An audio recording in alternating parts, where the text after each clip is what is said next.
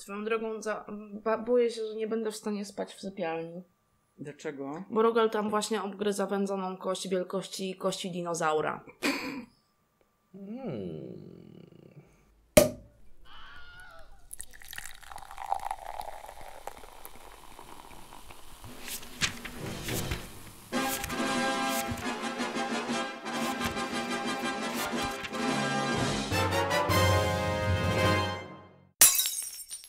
Cześć, witamy w 16 odcinku Winnych Odsłuchu. Ja jestem Przemek, a ze mną jest Anka z piekielnej? i... Krzysiek z przemyśleń maniaka. No i przez internet łączy się z nami też Maciek. Dzień dobry, z Wrocławia. No i dzisiaj, e, dzisiaj mieliśmy mieć normalny odcinek o filmach, w którym mieliśmy też pierwszy raz e, zmierzyć się z zadaniem domowym w postaci A Star is Born. Trochę nas ta, ta cała sytuacja przerosła, bo ja myślałem, że będziemy się mierzyć z jednym filmem w ramach tego zadania domowego, a mierzyliśmy się ze wszystkimi trzema. I w sumie trzeba przyznać, że się zmierzyliśmy lepiej lub gorzej. No, zmierzyć się zmierzyliśmy, tylko tym samym e, to przestaje być zwykły odcinek z zadaniem domowym, a odcinek poświęcony wszystkim A Star is Born. Znaczy w sumie myślę sobie, że dobrze, że ten odcinek jest, dlatego że te trzy filmy, przynajmniej dla mnie, one pewne rzeczy ukazały, w pewnych rzeczach mnie utwierdziły. I też było to ciekawe doświadczenie pokazujące, jak między innymi zmieniała się produkcja filmowa na przestrzeni lat i to tak co mniej więcej 20 Mhm. lat. Tak by można było powiedzieć, bo tak, bo to jest 37, 56 chyba? 72 i, I 2018. 54, 76 i 2018. No właśnie, tak. No. No mniej więcej, no. W każdym razie, long story short, jest to, było to bardzo ciekawe doświadczenie, przynajmniej dla mnie. I mam swój ulubiony film z tej całej czwórki. Ja też. No, e, oczywiście e, pokłócimy się przynajmniej trochę, a na pewno e, ta trójka, która mi towarzyszy, bo oni się strasznie kłócą o ten ostatni z Jak- Gagą. Jak czytaliście, Bo oni co się nie się, znają. jak czytaliście to, co się działo na fanpage'u u Krzyśka, albo to, co się działo gdzieś tam w internetach pod moimi postami, to mniej więcej wiecie, po jakiej stronie barykady jesteśmy. Ale zamknąłeś tą dyskusję Brzydko? strasznie tak y, ten, strasznie za mocno. Przepraszam, No, ale bo mnie to ten- zdenerwował. W sensie, no, ja rozumiem. W sensie, ja rozumiem, że są w internecie trolle i ten pan ewidentnie był jakimś takim. No nie, my go znamy. E, my znamy no. tego pana, ale on nie jest, i on nie jest No trolem. to brzmiało trochę jak taki troll typowy, który, no ja, mia, ja też miałem takich trolli, którzy pod postami dotyczącymi na przykład filmów LGBT wrzucali, nie wiem, buźki żygające albo coś tego typu i wtedy blokowałem ich od razu, no to tak się walczy z, troll, z trollingiem w internecie. To taka, to tak ten, rada od bardziej doświadczonego kolegi. No dobrze. Whatever. skończyłem. No, nie, ale bardzo, bardzo dobrze, bo, bo w ogóle ta dyskusja była zażarta i mi się strasznie ona podobała. Podobało mi się walczenie ze światem i trochę patrzenie jak świat płonie. Ja się już nie mogę doczekać tych dyskusji od 1983, jak już do niego dojdziemy. Ora. A, jest niezły, póki No co. to dobra, dobra, to nie jest temat tego odcinka, nie będziemy o tym mówić. Dobrze, przejdźmy do rzeczy, a Przejdźmy do mianowicie... gier komputerowych. Przejdźmy, Przejdźmy do do... gier. Tak, nie, nie brandzlujmy się hejtem, nie brandzlujmy się hejtem. No tak, pogadajmy o Star is Born w kolejności chronologicznej, czyli zaczynamy od roku 37. Siódmego. Z Janet Gaynor w roli głównej. I ogólnie od razu uprzedzamy. Po pierwsze, spoilery są. No, mogą, wiadomo. nie znacie dnia, dnia i godziny, wiadomo, ale to są też filmy stare jak świat już teraz, więc. Niektóre. No, no, spoilery z takich filmów to wiecie, co możecie I jak widzieliście jeden, to wiecie o czym jest reszta. A To też znaczy, prawda. tak, bo ta historia nie została zbytnio zmieniona przez lata, co jest bardzo ciekawe. Przynajmniej jej główny jakby... I główna oś. Jej Tak. główna oś i ten główny wątek absolutnie się nie zmienił przez lata, więc jakby, no, wiemy, wiemy z czym mamy do A czynienia. druga sprawa jest taka, że e, prawdopodobnie będziemy się do nich wszystkich e, odnosić poprzez nazwisko głównej aktorki, która w nich grała. Tak. Tak, E, będzie... Więc się nie zdziwcie, jeśli czasami będziemy mówić o Janet Gaynor e, jako aktorce, a czasem będziemy mówić o, Jako o Gaynor filmie. jako o, o filmie, więc no, bądźcie na to gotowi. Tak, to, to taki skrót myślowy nasz, który sobie zrobiliśmy ostatnimi czasy. No więc właśnie, Janet Gaynor i film z roku 1937 to jest moim zdaniem E, Relikt pewnej epoki. Też, ale on jest ciekawy pod jednym względem. Ja przyznaję szczerze, że miałam duży problem, ale głównie ze względów e, technicznych z oglądaniem tego filmu. przykładku- na jego przykładzie w ogóle można najlepiej nakreślić fabułę, bo jest najprostszy z nich. Tak, no wszystkich. jest dziewczyna, która marzy o karierze w Hollywood i postanawia tam wyjechać, poznaje tam aktora, który ją tam gdzieś tam promuje, okazuje się, że związek jest toksyczny, bo ten aktor jest alkoholikiem, tralalala i to Jej jest... kariera rośnie, jego... Tak, a jego maleje i oni się, ona go tak bardzo kocha, że przy nim jest, ale w sumie to on też ją kocha, ale niszczy sam siebie i przy okazji niszczy ten związek i prowadzi to do tragedii. Tak, No, w sumie tak. Powiedzmy. mniej więcej. No i co, no, no Janet Gaynor gra główną rolę. Mhm. Kto gra e, Normana? E, Normala Mayna Mayna, gra właśnie. Frederick March. Frederick March. Tak. Tak Ma- jest. Ja mam takie pytanie do Maćka. Jak ci się podobał w ogóle ten film, ten z 37 roku? Ten film był zajebisty.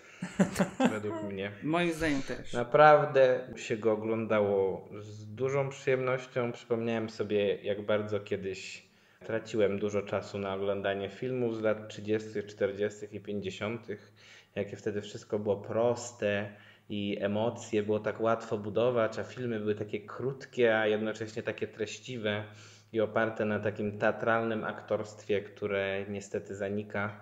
Więc y, ja jestem dużym fanem. Ja uważam, że postać y, grana przez Gaynor jest przeurocza. Y, absolutnie kupuje się jej motywację, plus babcia w ogóle lowo, babcia jest cudowna. E, I niesamowicie podobało mi się to, jak proste, tak jak właśnie mówisz, jak proste to było wszystko wtedy. Że wystarczyło tutaj kilka scen, pach, pach, pach i już jesteśmy w Hollywood, już jest wszystko super. I I jakby... wszyscy to przyjmowali jako Tak, normalność. i to nie była- było, to że, że, że wątek skrócony, że pobieżnie potraktowany. Nie, to wszystko było jakby spoko, nie? To, było, to się mieściło właśnie w tym e, takim e, sznycie te, tego kina. Poza tym mm, ja jedyny problem, jaki miałam, abstrahując w ogóle od tego, że, że postać grana przez Gaynor, czyli właśnie ta Esther, Boże Hoffman, tak? Bludgeon. Bludgeon. Hoffman to dopiero w wersji W- z Tak, z Barbara. Streisand, tak. Że ta Esther jest taka jakby bardzo urocza, bardzo niewinna, taka czysta bym powiedziała, ale ja miałam straszny problem z montażem i z y, tempem tego filmu, bo no było, nie było, on był jednak dość powoli prowadzony. Jak wszystkie no, filmy z nie, w tamtej ogóle się nie epoki. zgadzam z tym. W ogóle się z tym nie zgadzam. Właśnie się z tym w ogóle nie zgadzam. Te filmy z tamtej epoki w ogóle nie były prowadzone w wolnym tempie, tylko wręcz przeciwnie, były prowadzone w tempie czasem zdecydowanie za szybkim, e, żeby w ogóle poznawać bohaterów, żeby oni właśnie się dobrze rozwijali. Znaczy w kontekście jakby tego, jak wygląda sposób budowania narracji teraz. Kiedy poznajemy tych bohaterów, jest jakaś przepastna ekspozycja, gdzie musimy e, poznać najlepiej jeszcze w dodatku, e, żeby ich poznać od urodzenia do tego momentu, kiedy się ich poznaje pierwszy raz. Trzeba kurczę tych retrospektyw 50 tysięcy zrobić. I, ym, I przez to filmy trwają po 2,5 godziny, a mogłyby trwać, nie wiem, półtorej i byłoby równie dobrze pewnie. Dlatego akurat z, z tym, z zarzutem, że film ma słabe tempo ten, to się w ogóle nie mogę zgodzić. Słabe tempo to ma film następny. A z tym ja się z kolei to- nie mogę zgodzić. Nie, ja się mogę zgodzić, ale do tego Tak. Do tego jeszcze przejdziemy. Znaczy, e, dla mnie ten film jest przede wszystkim ciekawy o tyle, że po pierwsze historia jest prowadzona mimo gdzieś tam jej tragizmu w bardzo lekki sposób, Taki pozytywny wręcz. bardzo pozytywny sposób. A gdzieś tam jest wzbogacona takimi elementami troszeczkę delikatnej satyry na ówczesny Hollywood. Mhm. E, ma ciekawych bohaterów też drugoplanowych. E, postać Danego, który moim zdaniem jest po prostu cudowny. Em, no i bardzo fajnie jest tam przedstawiona ta główna bohaterka. A Janet Gaynor w ogóle została nominowana do tej roli, za tę rolę do Oscara. A, niestety go nie otrzymała i media ówczesne pisały, że e, no, została okradziona bardzo. Tak, bo to jest rola Oscarowa, jeśli mamy to rozpatrywać Oj, w ale jedną statuetkę w filmie już odebrała. Oj, dobra. Za trzy filmy, że w ogóle ona była, zdaje się, pierwszą laureatką Oscara za e, rolę żeńską w filmie. O, w historii. Mało tego dostała. Tak, rok 2000 1929. Tak, no. mało tego dostała, dostała tę statuetkę za trzy role. Wow. Jako jedyna chyba aktorka w historii. więc, wow. E, No tak, bo potem zmienili zasady przyznawania Tak. w ogóle Oscarów. Więc... To znaczy, y, ja się zgadzam z tym, co Krzysiek powiedział, że to jest bardzo lekki film, mimo tego dramatu, mimo tej toksyczności tego związku, to tego się tak nie czuje. To tak gdzieś jest na, na dalszym planie, na zasadzie takiej, że no musi być rama melodramatu, no to zrobimy ten melodramat, ale też bez przesady, nie uderzajmy w takie poważne tony, bawmy się tym i to jest spoko, ja to kupuję. To jest też trochę to, o czym Ma- Maciek mówi, że jest ta teatralna troszeczkę gra a, i przez to ta historia też zyskuje taki wydźwięk trochę umowności teatralnej, bo ona nie jest może jakoś szczególnie pogłębiona, ale em, właśnie przez to, że jest taka lekka, wygrana na tych teatralnych e, motywach, to ona niesamowicie działa na widza. Tak, to prawda. Przemek? jeszcze mogę jedną rzecz. Ja mam, ja, ma, ja mam jeden problem z tym filmem, bo jak e, zgodzę się, że e, rola Janet Gaynor jest wspaniała i uważam, że w ogóle e, nie, nie wiem, być może, być może mało, chociaż w sumie raczej, raczej wolę kobiece role niż męskie generalnie, bo uważam, że to jest teza, którą teraz wygłoszę, że kobiety są dużo bardziej utalentowane, e, jeśli chodzi o aktorstwo, niż mężczyźni.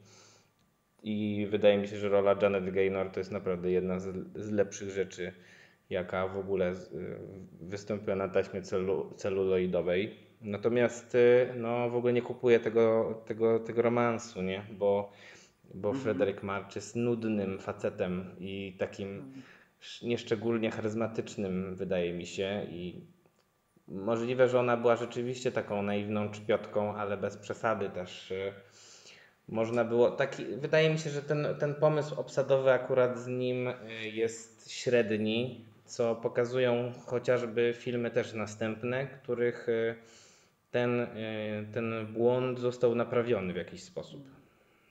No dobra, a moje wrażenia, ja muszę jednak y, stanąć po tej stronie, że ten film się nie zestarzał jakoś przesadnie dobrze, chociaż to może raczej chodzi o to, że, e, że po prostu ta metoda kręcenia filmów, którą ty tak chwalisz Maciek, ja uważam, że ona się strasznie źle zestarzała. I to jest jedyny z tych filmów, które oglądaliśmy, który po prostu rzuciłem, przestałem go oglądać. Po obejrzeniu e, wersji z e, Garland e, wróciłem do paru kluczowych scen, żeby po prostu porównać sobie, mm, jak one się, jak one wypadają. Ale e, Gaynor mniej więcej w momencie, kiedy była scena bicia talerzy, Mhm. Tak. e, to ja po prostu wysiadłem. Ja już nie byłem w stanie tego znieść. Było parę. E, Była parę... taka urocza scena, przepraszam. Może. Była może urocza, ale była- urocza, bo ja. E, Tak jak e, przez parę ostatnich odcinków padało już e, hasło, że do mnie ten film nie dotarł emocjonalnie, i dokładnie tak było z, z wersją e, z Gaynor. Ja widziałem cały czas aktorów na planie, widziałem kamery, jak były ustawione na tym planie, jak jeszcze w nudny sposób ten film był nakręcony, co było kwestią samego sposobu kręcenia w tamtych latach, ale ja nie jestem w stanie tego oglądać. Usypiam na tym filmie. I, i właśnie e, w dodatku, e, widząc aktorów, widziałem też te linijki, które czytali. Zresztą sama formuła tego filmu, zaczynająca się i kończąca się na, e, na ujęciu, na scenariusz, tem, tym bardziej temu nie pomagała. I ja się kompletnie nie mogłem przejąć tym filmem. Kompletnie zerowo. I nie bawiłem się na nim dobrze, chociaż miał parę jasnych elementów. Sama Gaynor była naprawdę fajna, urocza. No I babcia- mimo tego, że była taką głupią czpiotką w tym filmie, to, to mi, miło się na nią patrzyło. No i babcia. Babcia jest e, jedynym elementem, który znika ze wszystkich następnych filmów, a w sumie przydałby się ktoś taki w nich. Właśnie to jest y, y, podwalina pod to, co będę mówić później, ale przejdźmy do filmu z, z Garland. Judy Garland. Tak, z Judy Garland, który Który ma ogromne problemy, zacznijmy od tego. jest, trwa trzy godziny, umówmy się. Kto robi film trzygodzinny Który nie ponad? powinien trwać 3 godziny. Jest prawie za Bollywood. Teza? Przepraszam, halo, y, kto robi film 3 godziny? Wyjdź, wyjdź do kina, to zobaczysz, że 60% filmów ma tyle. Nie, to mają trwają dwie godziny z hakiem, to come on, to jakieś 130 minut, to jest dwie godziny 10, a nie Hek, trzy. hek, kamerdyner, hek. O, Dobra, come ale on, Bajon no ma ze nie. 100 lat, come on. Właśnie, No Bajon ma ze 100 no lat, nie, 100 lat. Nie, nie, nie, nie, nie, nie, nie. No trzygodzinne filmy to teraz y, są naprawdę na porządku dziennym. Mhm. No bez Znaczy, e, przesady. Maciek, bo no. e, e, jak trochę słucham tego twojego narzekania, to trochę mi się to kojarzy z krytykami growymi, którzy ostatnimi czasy strasznie dużo narzekają, że tyle wychodzi gier, w które trzeba władować 120 godzin. I jak oni biedni krytycy w tydzień do premiery mają zrecenzować taką grę. Nie spać, nie jeść, grać. No i owszem, owszem, to jest takie trochę śmieszne i też uważam, że nie wszystkie filmy potrzebują tych y, trzech godzin, ale w przypadku tego filmu z Garland y, y, tutaj widać, że połowa tego filmu jest kompletnie niepotrzebna, że jakby ją wyciąć, to nic by nie stracił. E, A Ale dużo ja z te- tych ja się z tym trzygodzinnych zgadzam. filmów, y, które mamy w tych czasach, nie wszystkie oczywiście, y, mają powody, y, żeby być tak długie. Okej, z tym się zgodzę, że są filmy, które mają takie powody, ale myślę, że no nie wiem, a jesteś w stanie wskazać i które, które miały, na przykład w ostatnich dwóch latach, First Man. Ale on trwa 2 godziny 15 minut czy 20. E, e, Czy jesteś mi w stanie teraz film. przypomnieć trzygodzinny film? co- Kamerdyner. No nie wiem, Dobra. Blade Runner I 2049. co, uważasz, że był za długi? Nie, on był wręcz za krótki, No właśnie. ale Właśnie! Right? Dobrze, ale abstrahując, przejdźmy do tego filmu może. Ale jest w ogóle ciekawa sytuacja z nim. E, taką ciekawostką może na, na początek. E, jego wyreżyserował George Cukor, dość płodny w tamtych czasach reżyser, który miał w ogóle wyreżyserować ten pierwszy film z Gaynor, Ale mu nie dali? ale stwierdził, że jest zbyt podobny do filmu e, What Price Hollywood, który wcześniej wyreżyserował i rzeczywiście tam ta historia jest bardzo podobna, nawet otarło się o sprawę o plagiat. W każdym razie on wtedy zrezygnował i dopiero później, kiedy mu zapro- zaproponowano ten muzyczny remake z Garland, to przyjął tę propozycję i w ten sposób, w ten sposób właśnie powstał pierwszy z remake'ów tej opowieści. Tak w ramach ciekawostki. Z remake'ów dodajmy udanych połowicznie, bo ja przez drugą połowę tego filmu, kiedy najpewniej kończyły im się pieniądze i przestali robić tak długie sceny, e, bawiłam się przezajebiście.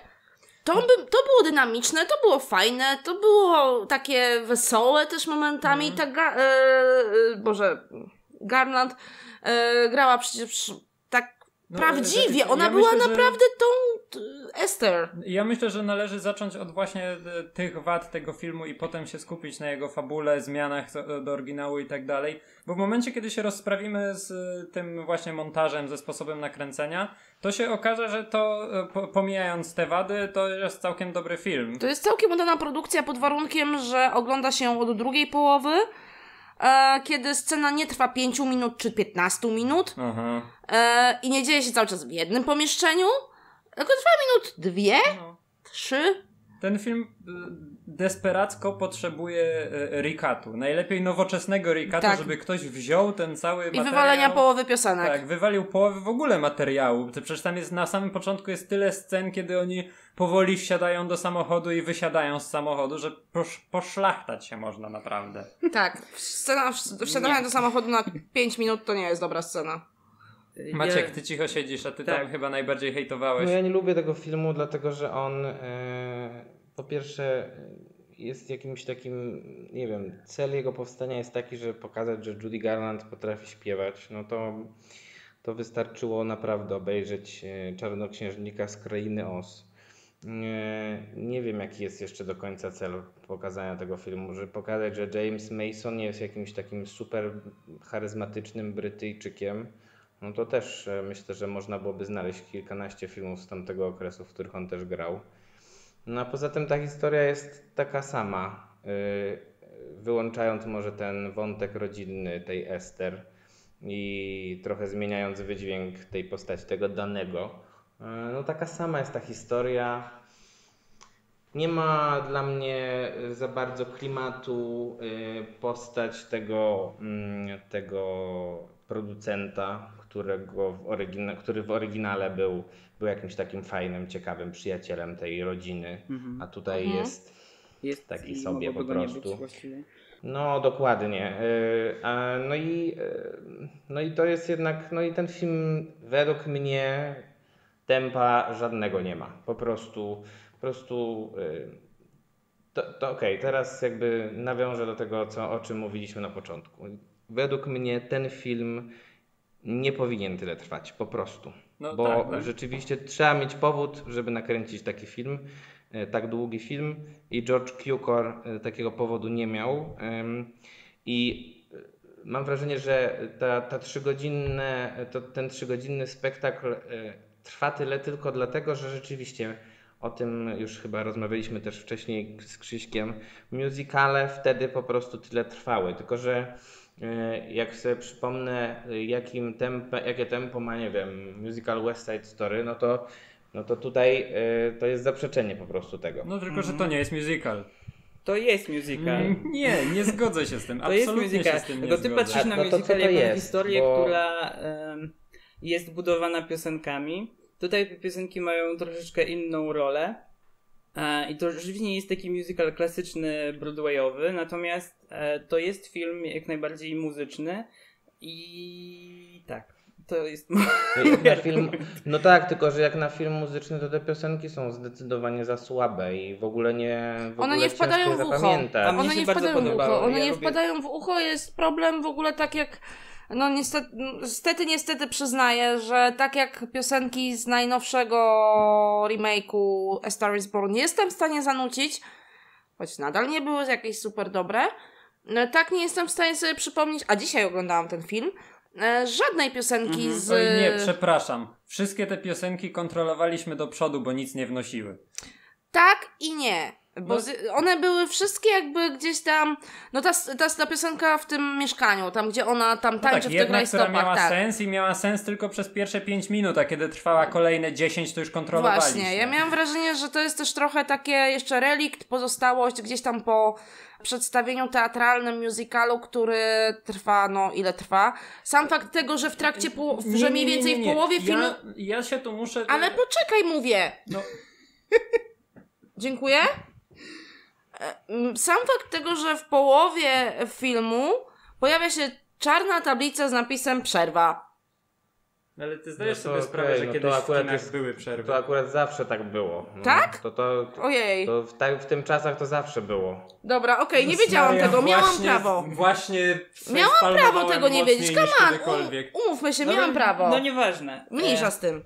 W ogóle ten film, ta wersja, którą my oglądaliśmy, to nie jest co ciekawe ta wersja, która była puszczana w kinach. Bo e, zaczęło się od tego, że pierwszy pokaz testowy miał 196 minut, uwaga. O kurwa. Potem Q-Core postanowił ją skrócić do 180 tam paru. I następnie Tam ma 175, nie? A Y, w i Chinach następnie była właśnie- na 156. była taka sytuacja, że Warner Bros. stwierdził, kurde, no jak będzie taki długi ten film, to będziemy go mogli puszczać mniej razy w kinach i mniej na nim zarobimy, to jeszcze go potniemy już bez Q-Cora. On ostatecznie, ta wersja, która weszła do kin miała 153 minuty, czyli był e, no gdzieś tam o pół godziny krótszy niż to, co my oglądaliśmy. Dopiero później w latach chyba 80. była wersja odnowiona, też te sceny zaginęły, dlatego w tej wersji, którą my oglądaliśmy, były takie tam stop klatki z podłożonym dialogiem. Z, z tego się Ale właśnie też to ciekawe, wzięło. że y, wyszło chyba 5 czy 6 wersji soundtracka tego, tego, tego filmu. I, I to jeden z nich chyba w miarę ostatnio, nie wiem, jeszcze w latach 2000 Tak, jakiś tak. soundtrack z A Star Mhm. is Born tego Judy Garland, Garlandowskiego tej wersji wyszedł. Tak. Mm, No ale te e, reedycje tego soundtracku, no to powiedziałbym szczerze, że no nie wiem, ja, ja, ja bardzo lubię y, musicale hollywoodzkie i zawsze się na nich dobrze bawię, ale no tego soundtracku bym chyba sobie nie kupił po prostu. No ale nie, wybaczcie, bo ja tu muszę e, wkroczyć na Mhm. wojenną ścieżkę. Ten film nie jest musicalem. Ale to twoja stopniu, teza no. i ona się nie obroni, no po prostu. No, Musical to Koniec. jest forma, e, forma, nazwijmy to artystyczna, która opiera się w pierwszej kolejności na piosenkach. Piosenki wnoszą jakąkolwiek treść do filmu. Piosenki w tym filmie, poza tą jedną w domu, kiedy ona śpiewa zaraz po powrocie z planu, nie wnoszą niczego do tego No filmu. dobra, tylko że, tylko że to nawet myślę, że to nawet myślę, że Akademia Filmowa, która wiadomo, że się składa z samych starych ludzi, się z tą nie zgodzi, bo em, była nominowana do Oscara jedna piosenka z tego musicalu i nie ta z domu, Ale, która e, e, wnosi coś do fabuły, tylko ta, która, e, ta którą Judy Garland śpiewa Ale była nomi- drugą bodajże. nominowana do Oscara za najlepszą piosenkę, tak? No i co? No nie, bo ja nie mówię o, o tym, czy to są dobre piosenki, czy nie, bo szczerze mówiąc to nie nam oceniać. E, W tamtych czasach akurat mogły się podobać. E, A Mi czemu chodzi- nie nam oceniać? No oglądamy ten e, film ale w musicalu, 2018 słuchaj, ale musicalu roku. nie nagradzasz za najlepszą piosenkę, Jak to tylko nie? musical why nagradzasz za najlepszy film. Nie. Do, dodatkowo come on, może no dostać ty- za nie, nie, najlepszą nie, nie, nie, piosenkę. Halo, halo, halo, halo. A co było z La La nie, nie. Landem? I La La Land znaczy- niesłusznie dostał za najlepszą piosenkę. No ale no nie no, jak nie rozumiem, nie rozumiem tego argumentu, że musicalu nie nagradzasz za najlepszą piosenkę. Bo generalnie musicali się nie nagradza za piosenki na Oscarach, bo musicale, szczególnie te, które są adaptowane na filmy, nie mają oryginalnych piosenek. Ale ten konkretny miał napisany cały soundtrack pod, y, pod swoją, E, Ale pod swoją nie, produkcję. Maciek, Maciek, wszystko spoko. Bardzo dobrze, że on dostał tą nagrodę za najlepszą piosenkę, jeśli miał za co dostawać. Tego nie oceniamy, tylko musicalu jako filmu, jako e, formy artystycznej nie nagradzasz za najlepszą piosenkę. Za najlepszą piosenkę nagradzasz najlepszą piosenkę. Jedną pomniejszą część tej całości. A musical jako forma artystyczna jest opowiedzeniem historii, wykorzystując piosenki ro- razem z adaptowaniem ich na, e, na formy taneczne. No nie. No tak. No nie, nie zgadzam No. się. Ale ty mówisz o takim klasycznym musicalu, ale to nie jest jakby jedyny rodzaj musicali, jaki To, istnieją. Przemek, nie, to wyjdź ze swojej banieczki, bo musical, który opowiada historię piosenkami, tak, ale jakby to trochę poszło do przodu i wyobraź sobie, że są filmy, które są musicalami i nie składają się z samych piosenek. Przemku, wyobraź sobie taką sytuację i teraz przy, podam Ci przykład No, no. Najbardziej, najbardziej aktualny. Piose- film Narodziny Gwiazdy A Star is Born z 2018 roku można spokojnie zakwalifikować jako musical, Tak. bo te piosenki tworzą relacje między bohaterami Tak. i rozwijają fabułę. Możliwe. Nie A nie jest to klasyczny Gagą, musical, Ale a te, nie jest to z- ale klasyczny te musical. Garland tego nie robią. Jak to nie robią? Jak to Halo, nie? przecież Nie. Nie, no come on, no Ej, w ogóle schodzi, zeszliśmy z tematu. Jakiej, okej, mogę tylko dokończyć? Tak. Jakiej by jakości nie były te piosenki, to każda z nich tworzy jakąś relację między głównymi bohaterami. Mhm, To akurat prawda. pierwszej, Mm. Poprzez... To akurat prawda, e, szczególnie ta w barze, gdzie on, Też, gdzie, on, gdzie No między dokładnie, Ale nawet- on poznaje jej talent. Mhm. Nawet ta piosenka, którą śpiewa w filmie, chyba najdłuższa niepotrzebna scena Zaraz przed przerwą. zaraz przed przerwą, ona też w pewien sposób rozwija tę bohaterkę, bo raz, że e, w podtekście trochę mówi o jej podróży e, w Hollywood, a po drugie pokazuje też, jak bardzo utalentowaną była aktorką jako ta postać. To prawda. No, dobra, dobra, możemy się o to kłócić dłużej, ale chyba nie chcemy.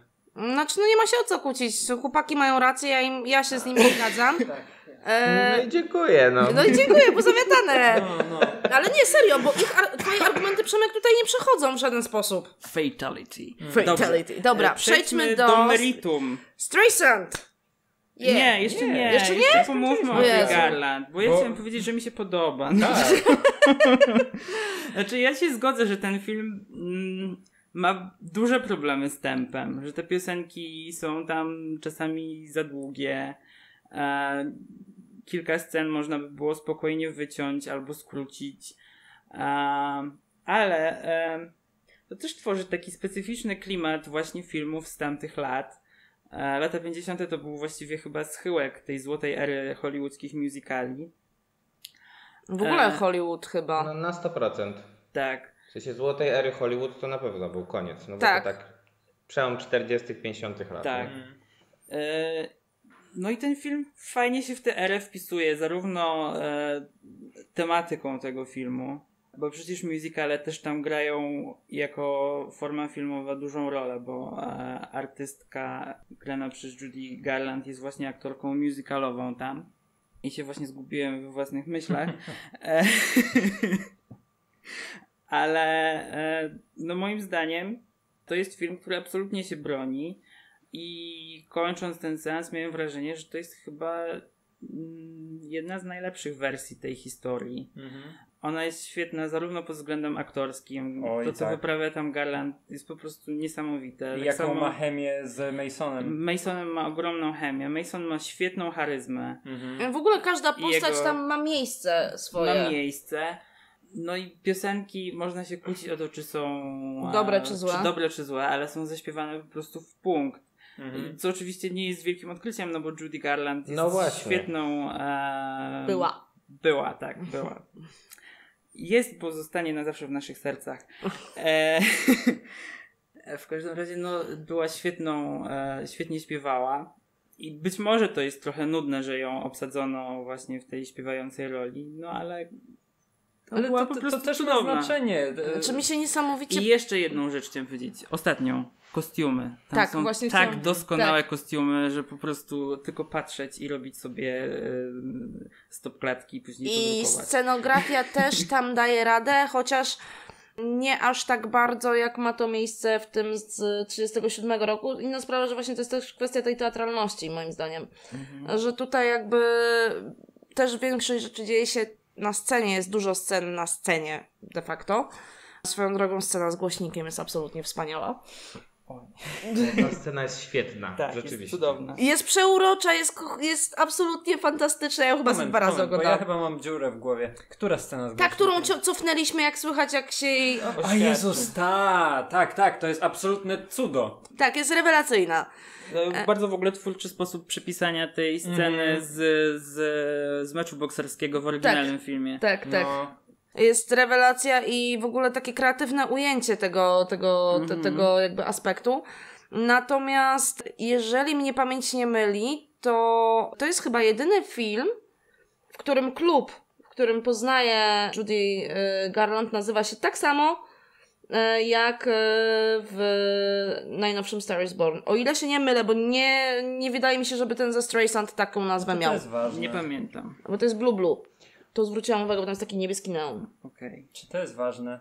Jest mnie ciekawe. tak. Ciekawostką. E, ale to ja mam Mhm. e, taki hot take na temat tego filmu z Garland, że gdyby go właśnie porządnie pociąć i gdyby zostawić tylko te rzeczy, które nas interesują, to wychodzi z niego jeden do jednego remake e, oryginalnego filmu.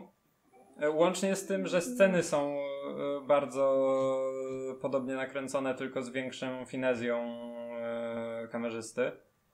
E, I Z doda- większymi możliwościami ja te, technicznymi. no też wiadomo, bo to jest 20 No, lat różnicy. Doświadczenia też, nie? No. Zmiana technologii, zmiana jakby E, sposobu myślenia ale o filmie. e, wszystkie postaci są zagrane moim zdaniem lepiej, ale to już mówiłem, że może po prostu do Inaczej mnie nie przemawia. No tak, no, To nie jest inaczej kwestia- to do mnie przemawia. E, Ale e, do mnie właśnie to znacznie bardziej przemówiło. Znacznie bardziej uwierzyłem w związek tej Ester i, i Normana? Normana. Normana Maina. I co najśmieszniejsze, mimo tego, że ten film jest pełen seksizmu i Norman w sumie też jest w paru miejscach seksistowski, to ja nie byłem w stanie nie lubić tej postaci, bo on był naprawdę niesamowicie napisany pod tym względem. To, że on w pewnym sensie przejął rolę babci z oryginalnego filmu i on tak bezgranicznie wierzył w tą dziewczynę. To jest wszystko dla mnie niesamowite w tym filmie i bardzo chętnie zobaczyłbym nawet w kinie teraz, żeby ktoś zrobił recut tego filmu i wypuścił go w normalnej długości po prostu. Tak, myślę, że takie dobre przemontowanie tego, ale takie naprawdę z głową zrobione, Mhm. Mogłoby mieć sens i myślę, że byłoby, wyszłoby na dobre temu filmowi, tak myślę, bo to jest moim zdaniem najlepsza wersja z tych wszystkich czterech filmów, które widziałam. Na drugim miejscu jest ta z Gaynor i ja myślę sobie, że jakby te dwa filmy, one mimo swoich problemów są absolutnie tym, czego od tej historii można oczekiwać. Dokładnie w taki sam sposób, znaczy może nie w taki sam, ale największą ich zaletą jest to, że porówno czasu antenowego ma ta bohaterka i ten cały jej, ym, Boże, jak on się nazywa? Norman. Main. Norman. Tak, Norman.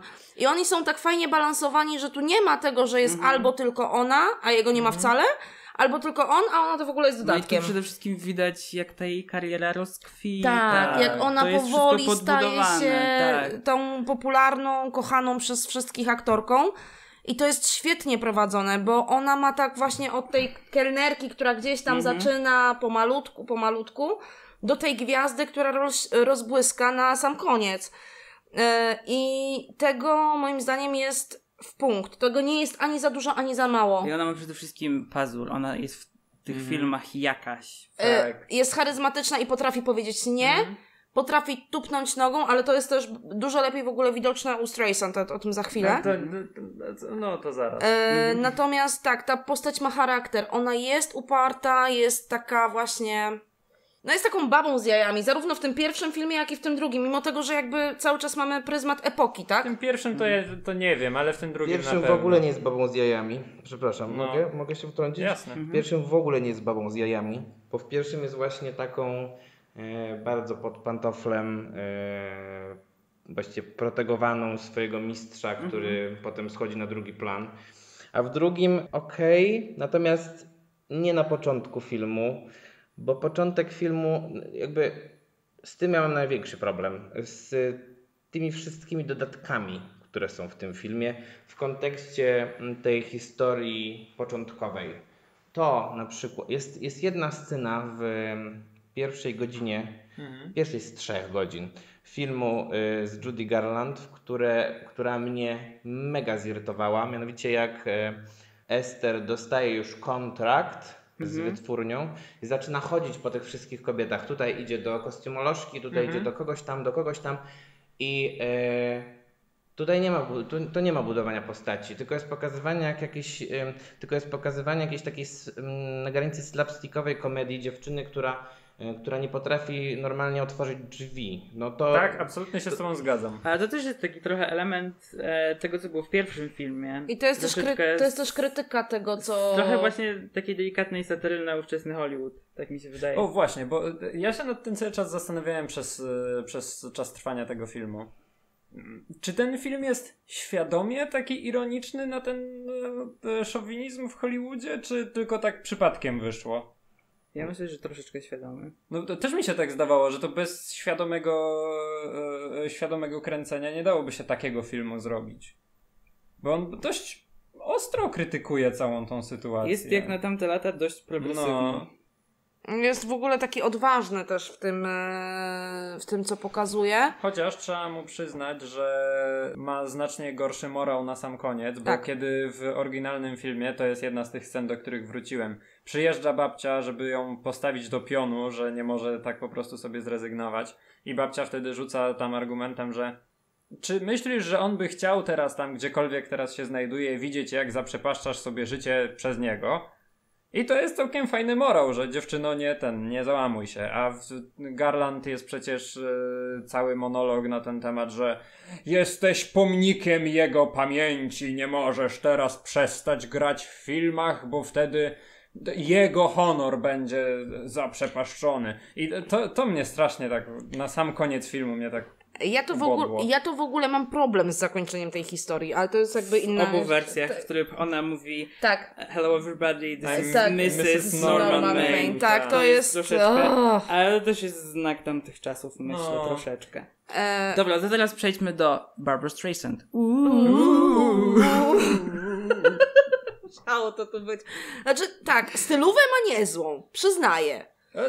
Ten To. film. No, Streisand. ale ja akurat e, mam parę dobrych rzeczy do powiedzenia o tym filmie, ale jest też parę średnich. On jest taki właśnie pomiędzy, bo on ma momenty, ma kilka scen, które są przeurocze swoją drogą. Barbara Streisand w koszulce Supermana i w białych podkolanówkach to jest absolutne złoto.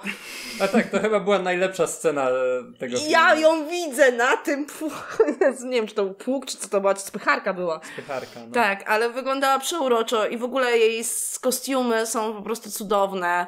Ale myślę, że to jest też kwestia epoki, gdzie, te, gdzie, gdzie właśnie, właściwie to jest chyba taka najbardziej kolorowa pod względem mody epoka, gdzie to no, jest... no, No, Lata lata 70. 70., tak. Ale to, ja to mówię tak z swojego Ale- ale, tak. Mi się one podobały, no. No i wiecie, to już jest ten film, do którego my możemy w pewien sposób czuć nostalgię, bo w Tak. jakiś sposób jeszcze się na tej kulturze wychowaliśmy. E, mi też... Wtórnie. Mi Nie się, tak. powtórnie, ale jakoś jednak tak. Mnie się też niesamowicie podoba sam początek tego filmu, bo e, daje nam jasny obraz tego, z jaką postacią w przypadku Normana, J- Johna, Normana, Normana. Tak. e, będziemy mieć do czynienia i to jest świetne przedstawienie postaci. W kilku prostych scenach pokazanie, z kim mamy do czynienia, co to jest za postać, co to jest za człowiek i właściwie więcej nam nie potrzeba. Tak. A w ogóle gra go człowiek, którego rodzice uznali, że genialnym pomysłem przy nazwisku Christopherson będzie imię Chris.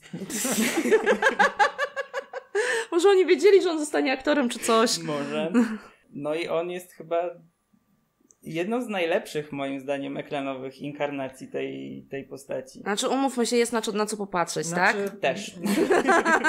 No to ja tutaj muszę powiedzieć, że jednak zdecydowanie bardziej kupiłem kreację Masona Mhm. niż jego. Ale Nie. był, no, on miał charyzmę, nadawał się do tej roli, nie mogę powiedzieć, że nie. Maćku Mason czy Chris- Christopherson? E, Maciek powie, że Cooper. No, dziękuję, no, sam powiedziałeś. A Serio? W sensie, ja, jakby, no dobra, zaraz, ja się zaraz włączę do tej dyskusji, bo ten film był dla mnie najbardziej męczący, więc... A nie, e, O. właśnie najśmieszniejsze jest to, że tyle mówiliśmy, że e, Garland jest za dużo i tak dalej, a e, tak zwanie przekontrolowaliśmy ten film właśnie najbardziej. A Tak. ten film ma dużo takich Scen. długich, niepotrzebnych No. scen, które można by było spokojnie skrócić. E. Jedna z ostatnich scen na przykład. Chociaż Znaczy, ten, ja, uważam, no, że, ja uważam, że jednak największym jego problemem jest Barbara Streisand, bo... To Tak. jest e, prawda, Mhm, tak. mhm. Bo ona jest, y, y, w sensie, może teraz ja nie, może to nie zabrzmi zbyt profesjonalnie, ale ja jej po prostu nie lubię. Aha. Nie lubię jej dlatego, że jest nieprawdopodobnie kurewsko przereklamowana. W sensie, ona jest genialną wokalistką, Mhm. ale aktorką jest absolutnie niegenialną. No. To jest Pierwsza prawda. rzecz. A jeszcze, e, a jeszcze w dodatku jest osobą, która ma bardzo duże mniemanie o sobie, ma bardzo, bardzo chyba dużo luster we własnym domu i generalnie lubi patrzeć na to, co widzi w lustrze, bo to w jaki sposób z tej, z tej takiej postaci, którą tutaj odgrywa, e, nagle w latach 80., 90. chciała stać się poważnym reżyserem filmowym i wyszło jej to tak, jak e, no powiedz, powiedzmy psu na budę. No, e, ja, ja, po prostu jej nie lubię i, mm, i mnie ona trochę odrzuca od tego filmu i jakby trochę tego żałuję, że ona w nim zagrała główną rolę. Szczególnie, że on ma duży potencjał, bo Chris Christopherson jest bardzo dobry, rzeczywiście. I bardzo dobrze wprowadza klimat takiego rocko, country. em, Zblazowanego Mhm. wokalisty. Dokładnie, dokładnie takiego, takiego wariata, pijaka, któ- człowieka, który w ogóle już nie kontroluje za bardzo swojego życia i to, i to jest fajnie w tym filmie pokazane, a z drugiej strony jest ta Streisand, która, która chyba traktuje ten film trochę jako swój jakiś taki ego, nie wiem, łechtający ego projekt, w którym musi być po prostu wspaniała, idealna i genialna i napisała piosenkę, która dostała Oscara, więc jeszcze Akademia jej potwierdziła, że jest taka fantastyczna. Ta piosenka jest nudna jak flaki z olejem. Jeszcze w dodatku, jeszcze w dodatku wygrała, wygrała wtedy Oscara przeciwko głównej piosence z Rockiego, który co jest w ogóle chyba jednym z największych skandali, jeśli chodzi o muzyczne nagrody Akademii Filmowej. Dziękuję. No, Okej. ja zna- się z tobą z, jednym, e, e, z jednej strony zgadzam, bo e, właśnie największym grzechem tego filmu było to, że właśnie wszelkie sceny ze Streisand były totalnie źle zagrane i właśnie tak jak w Garland przekontrolowywałem sceny, w których po prostu nic się nie działo, no to dobra, nie powinno ich tam być, ale ja mogłem je sobie teraz przekontrolować i nie było w sumie aż tak źle, ale kiedy tylko aktorzy ze sobą grali, to ja e, nie miałem sumienia e, mijać tego, co oni tam odgrywają, szczególnie Garland i Mason. W przypadku tego filmu, nie dość, że ja przekontrolowywałem sceny, w których nic się nie dzieje, to ja jeszcze przekontrolowywałem sceny, kiedy oni ze sobą grali, bo się nudziłem, patrząc na ich dwójkę. Znaczy nie, bo oni trochę, trochę jakby oni, oni średnio ze sobą grają. Mhm, Bo w ogóle też, tam nie ma mają chemii. Nie mają chemii, to nie jest mają masakra. chemii. To jest masakra, jak bardzo nie ma tam chemii. I jak bardzo on zjada ją w tej roli. I to jest w ogóle niesamowite, Mhm. jak bardzo łatwo ona się daje. W sensie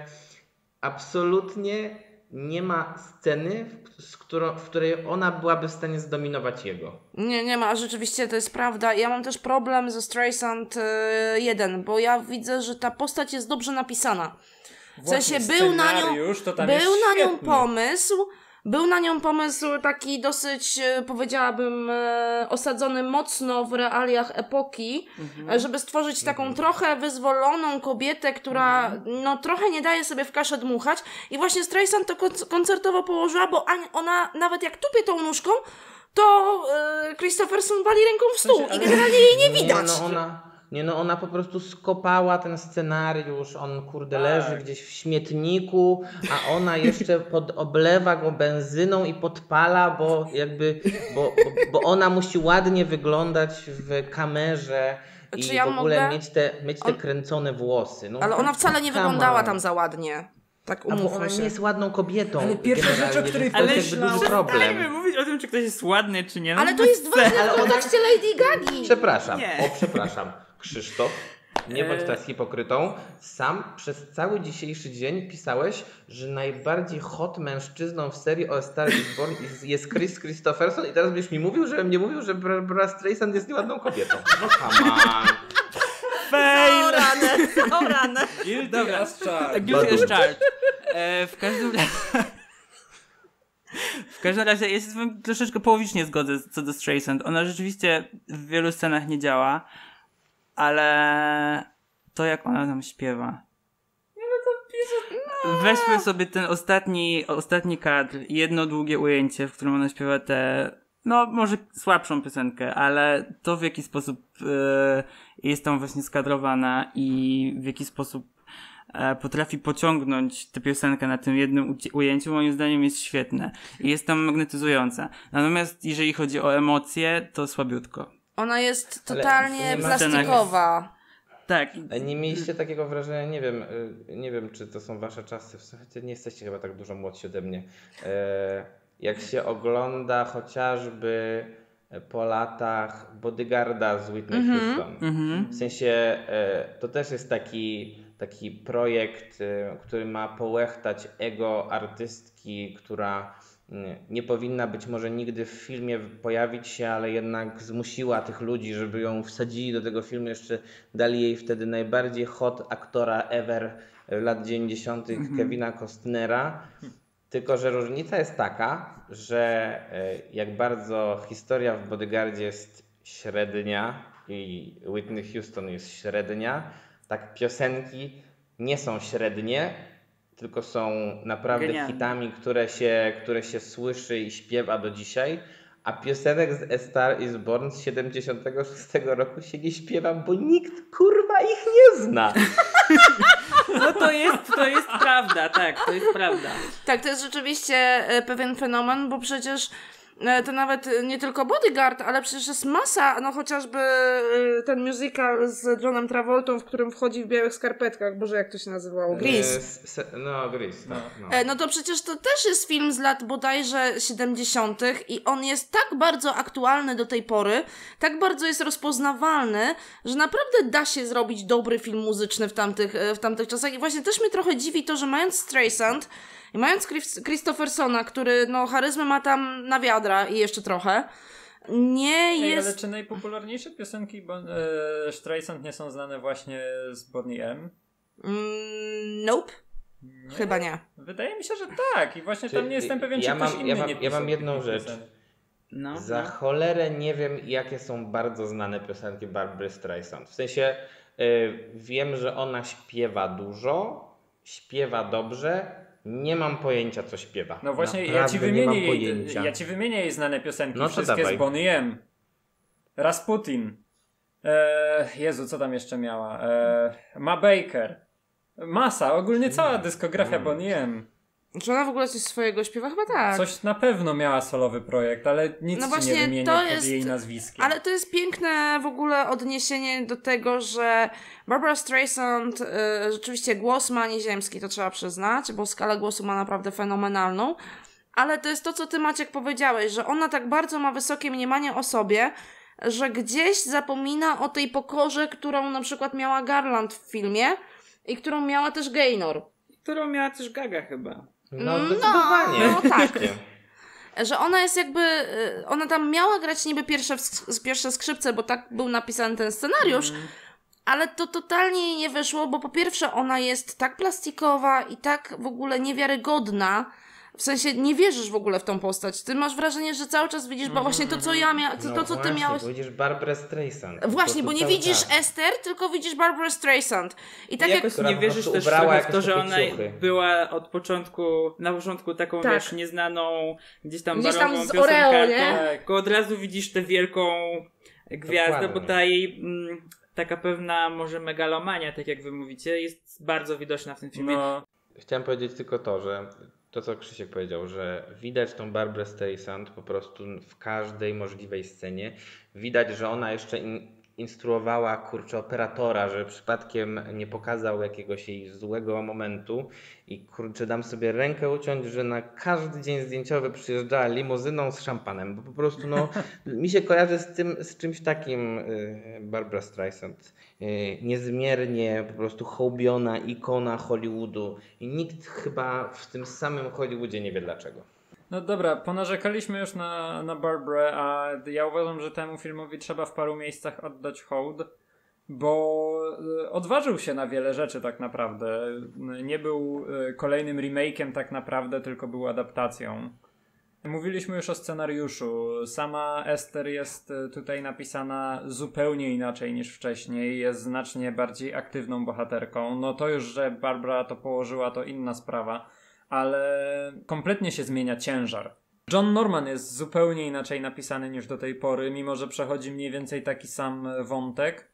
To uważam, że on jest zupełnie inną postacią. On inne lekcje odbiera z całej tej historii i Powiedziałbym nawet, że inaczej kończy, bo e, oryginalny John, e, nie John Main, tylko Norman Main popełnia, popełnia Mhm. samobójstwo, on się poświęca, żeby nie obciążać tej swojej żony.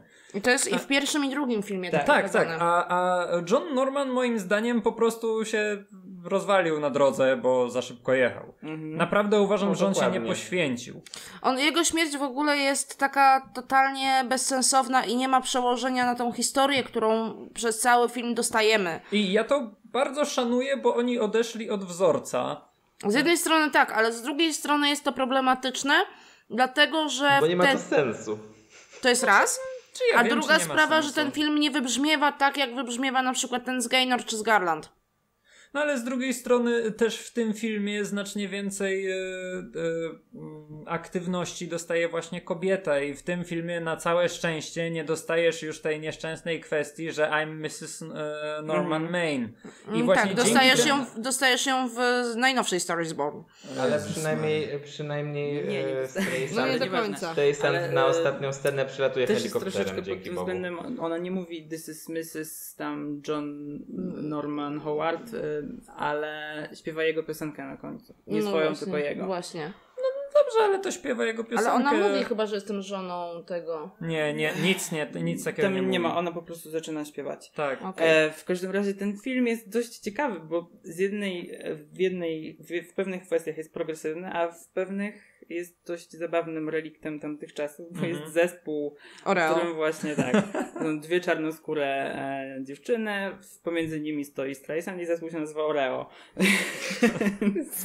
Dawno tak mocno nie facepalmowałem jak na tym momencie. Tak, więc to jest coś okropnego.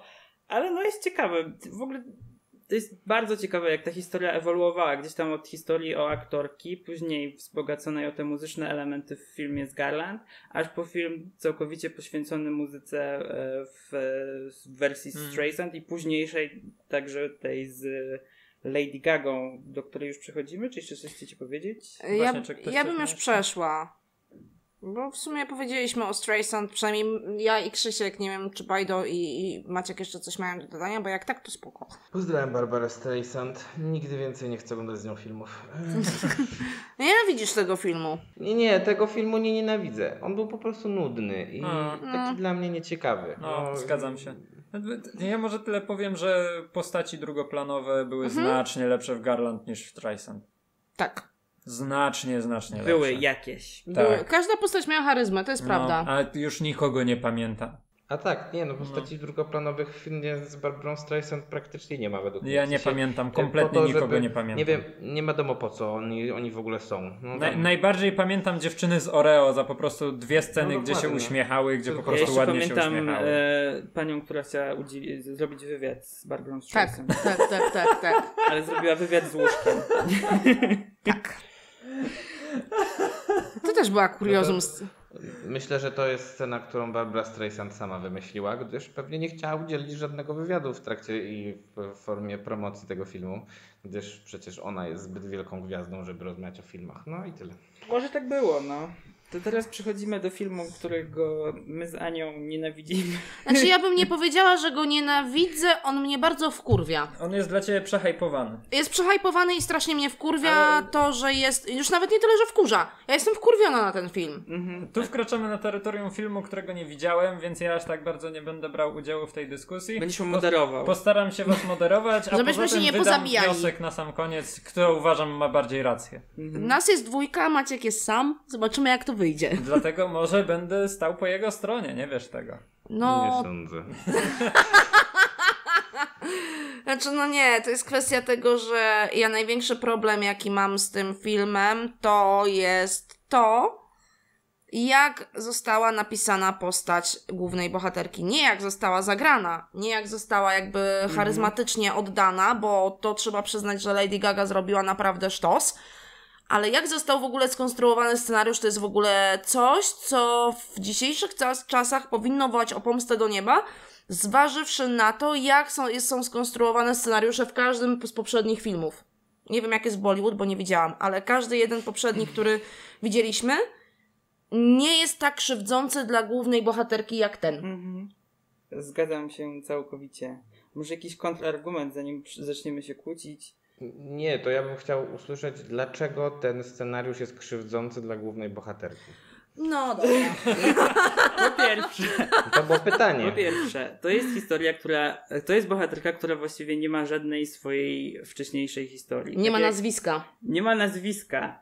E, tak jak masz w wersji Gaynor, e, gdzieś tam widzimy jej przeszłość i dowiadujemy się po co ona tam w ogóle przyszła i tak dalej. Tak masz tutaj Ali, która pierwsze w siebie nie wierzy i dopiero jak gdzieś tam się spotyka z mężczyznami, to oni ją wyciągają i mówią, no uwierz w siebie i, i To tak jest o dalej. tyle kuriozalne, że drag queen jej mówią, że ona jest super.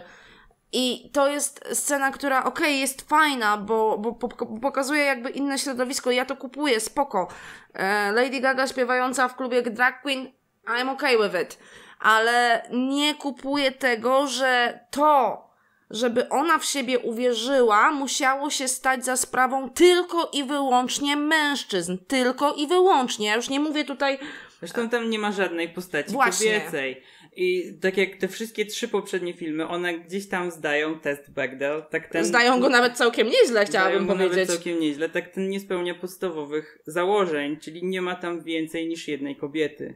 Ona jest jedyną kobietą w tym filmie, która... Jest totalnie zdominowana przez mężczyzn. nijaka tak naprawdę, no bo nie ma ani charakteru, jest gdzieś tam niepewną do końca siebie dziewczyną, która czasami się zbuntuje, ale później i tak nic z tego nie wychodzi. I która tak naprawdę nie pokazuje siebie w tym filmie, bo zawsze robi coś pod dyktando kogoś drugiego. E, Na samym końcu, kiedy gdzieś tam ma pokazać ten swój status wielkiej gwiazdy, to po prostu wychodzi zapłakana, e, udaje trochę Whitney Houston i, I śpiewa pios- piosenkę swojego faceta, która później jest jeszcze przerwana w połowie i dokończona przez Bradley'a Coopera gdzieś tam w jakiejś kuriozalnej w ogóle retrospekcji. Nie. Ja jeszcze miałam takie wrażenie, że ta piosenka początkowo strasznie mi przypominała piosenkę I Can Live If Living Is Without You. Czy ty też to tak miałeś? Te pierwsze tony, które się zaczęły... Mnie Ja- się skojarzyło z I Will Always Love E, You. Też, ale to wszystko było jakby na tą jedną modłę tej takiej piosenki, którą gdzieś już wszyscy słyszeliśmy. I to też nie było nic oryginalnego, po prostu była piosenka, która była strasznym snujem. Sama Gaga robiła co mogła i naprawdę nie powiem złego słowa na aktorstwo, bo ona naprawdę uciągnęła ten film.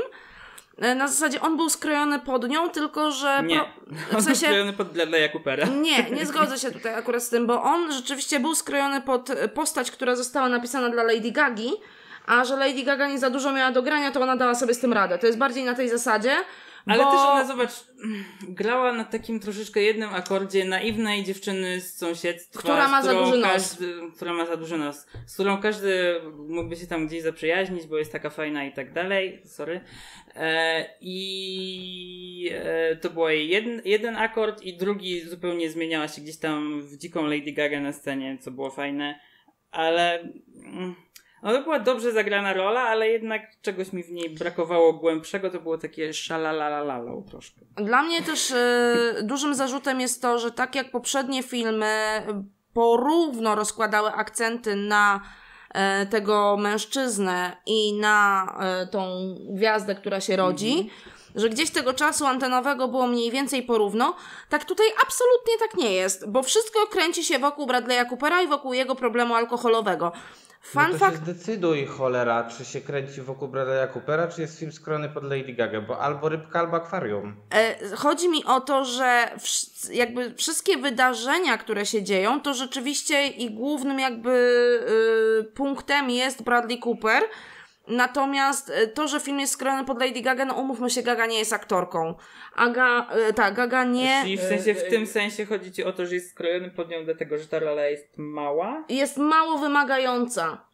Tak jak mówisz, ona gra na dwóch akordach. Ja to ujmę, bo ja wiem o co Ani chodzi. No. Anka po prostu twierdzi, że nie cały film jest skrojony pod Lady Gagę, tylko sposób, w jaki jej został postać napisany. została Mhm. napisana, biorąc pod uwagę to, że Gaga nie jest aktorką i najprawdopodobniej nie poradziłaby sobie z trudniejszą rolą. Co Tak. nie jest do końca prawdą, bo... Ja myślę, że No tak, to- bo to nie, to nie jest sztuka zrobić taki film. Ale w ogóle ta...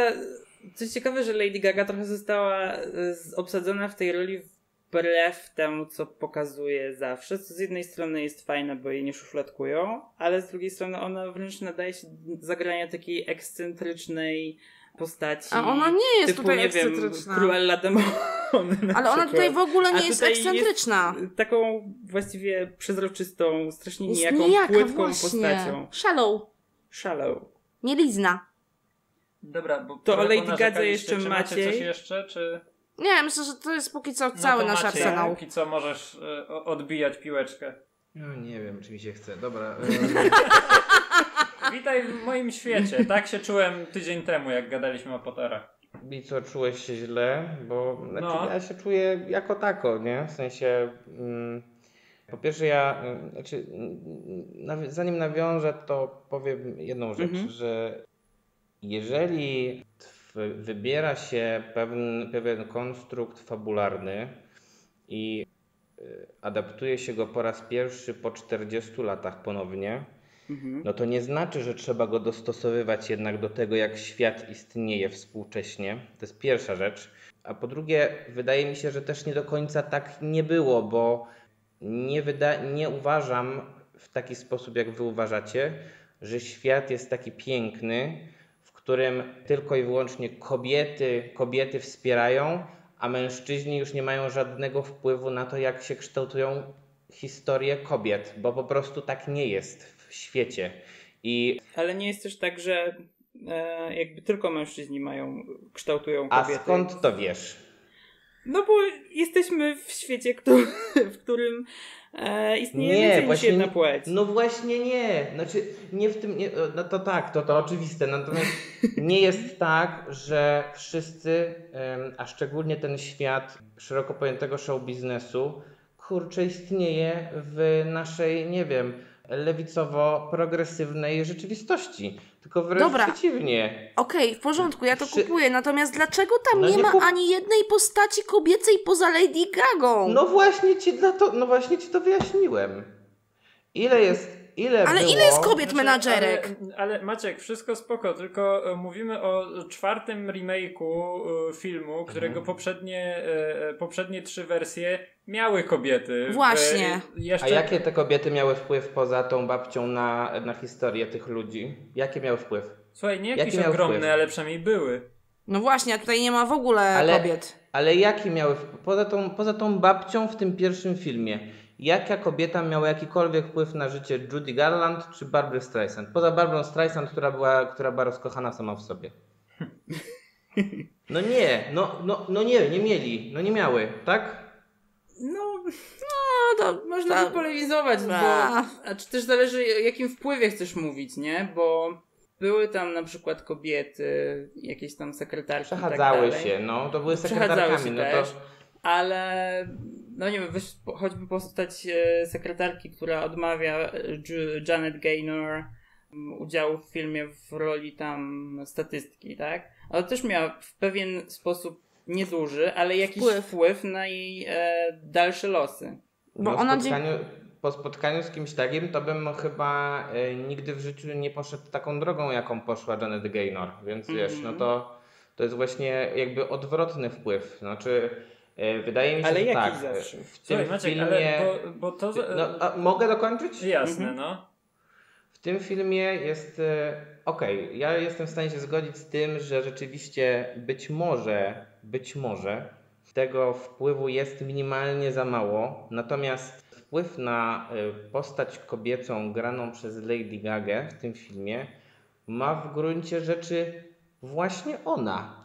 Dlatego, że e, ona jest odkryta tak naprawdę tylko przez Coopera i potem ta jej kariera jest zbudowana przez to, jaką ona jest utalentowaną osobą, a nie przez to, w jaki sposób jest sterowana przez niego. Ale ona nie jest... Ale co ona robi tam sama? Właśnie. Ona tam nic nie robi sama, robi wszystko za nią menadżer. Nawet menadżer rozpierdala jej związek, no come on. A gdzie rozpierdala ten związek? Jakby nie powiedział Cooperowi, co mu powiedział, to by się skończyło inaczej. A super, no to, znaczy, ale to on powiedział Cooperowi, a nie jej.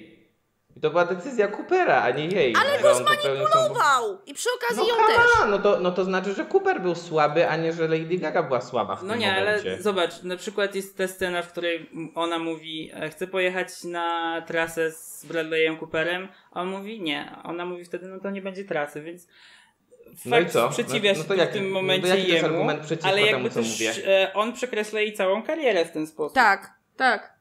W ten sposób jest po prostu... Nie, ale to, y, to z drugiej strony, no dobra, no to jeżeli, jeżeli tak to pojmujemy, no to em, z drugiej strony żadna aktorka, która, y, czy piosenkarka, która, która ma jakikolwiek związek z mężczyzną, nie powinna, go za, nie, nie powinna z nim w ogóle rozmawiać, bo powinni być, powinni żyć odseparowaniu totalnym, żeby tylko i wyłącznie, żeby tylko, że przy, przez przypadek on nie miał żadnego wpływu na nią.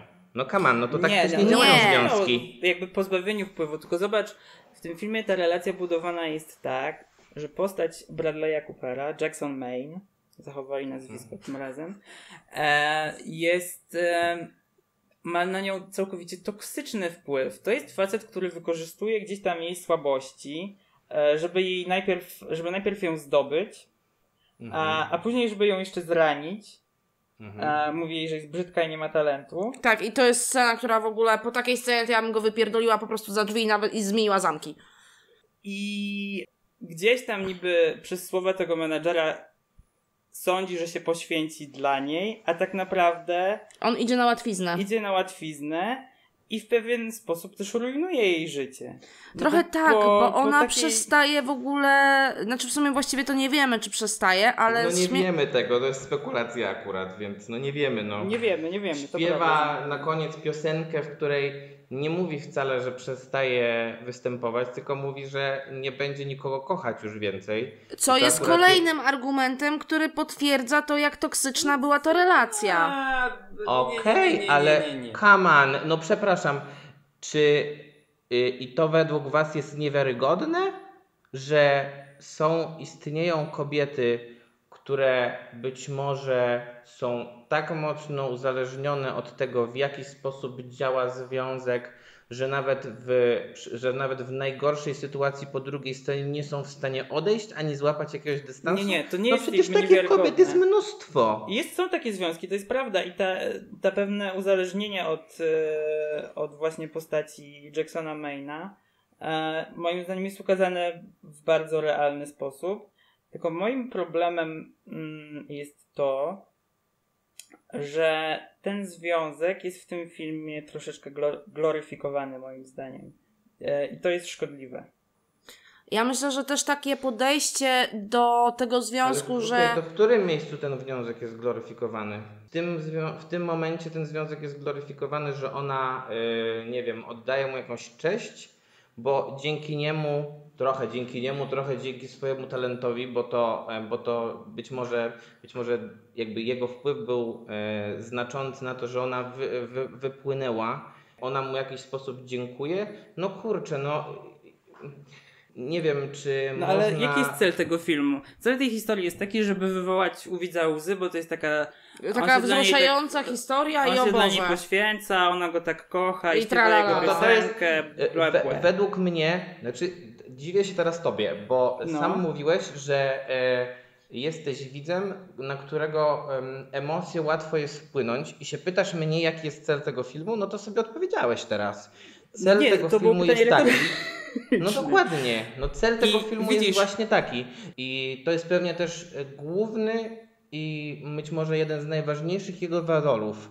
To znaczy, ten film nie udaje, że jest jakąś, jakąś uwspółcześnioną, e, oderwaną od tego konserwatyzmu wersją tej historii, tylko korzysta z tych elementów, które ta historia oryginalna e, w jakiś sposób zasugerowała i stara się je wy, wycisnąć z nich jak najwięcej e, po prostu czysto filmowych emocji, bo dla mnie to nie jest żadne ważne przeżycie, nie wiem, społeczne ten film, czy em, nie, będzie miał, nie będzie miał wpływu na moje postrzeganie roli kobiet czy mężczyzn w społeczeństwie czy w show biznesie.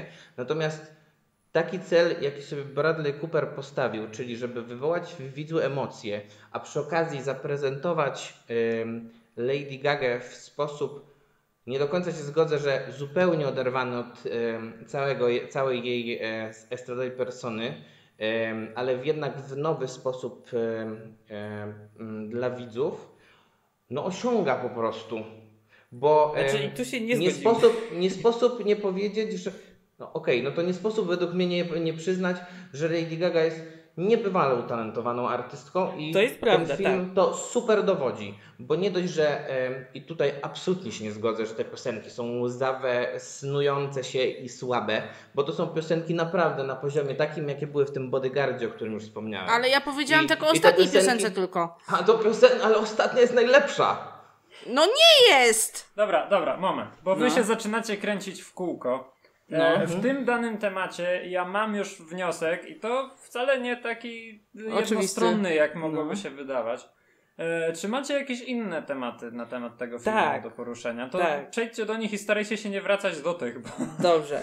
Znaczy, film, mm, e, jeżeli chodzi o właśnie ten temat narodzin gwiazdy, jest realizowany słabo. Natomiast jeżeli chodzi o postać Coopera i ukazanie mm, jego uzależnienia i, I tego, do czego to i prowadzi. tego, do czego to prowadzi, i gdzieś tam podbudowanie tego trochę może ckliwą i za bardzo próbującą jechać na emocjach historią z dzieciństwa.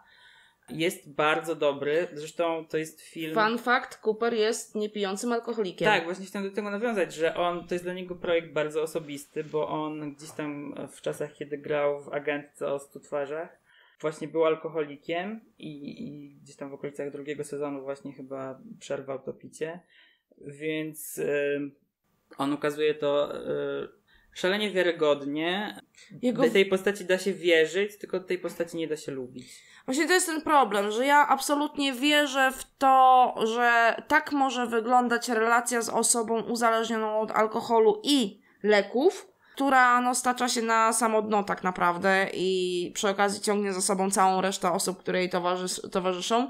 Zresztą świetna jest scena, kiedy rozmawia z Lady Gagą jej bra e, brat Coopera i mówi właśnie, że to nie jest twoja wina i nigdy sobie tak nie mów. Mhm. Że to jest tylko i wyłącznie jego wina. To jest chyba jedyna scena, którą ja absolutnie jestem w stanie poprzeć rączkami i nóżkami. I sam Elliot w ogóle jest, mimo Tak. że ta rola nie jest jakaś szczególnie duża, to, jest Ale on jest- absolutny sztos. On jest rewelacyjny. On jest dokładnie tak zarąbistą przeciwwagą dla tego, kim i, jaką relację tworzą Cooper z Gagą, Mhm. e, że jest takim, cholera, nawet nie wiem jak to, jak to ująć, jest takim trzonem, Mhm. który nie tyle trzyma Coopera w ryzach, co jest oparciem dla Lady Gagi. Mhm. Bo on tak naprawdę w tych najgorszych momentach to ona ma tylko jego. Bo na swojego ojca w ogóle nie ma co liczyć i w ogóle jej ojciec też jest takim, taką postacią, której w ogóle tam nie powinno być na moje. I wracając do Coopera, to ja mam taki wniosek, że ten film wcale nie powinien nazywać się Narodziny Gwiazdy, tylko Upadek Gwiazdy i byłby to w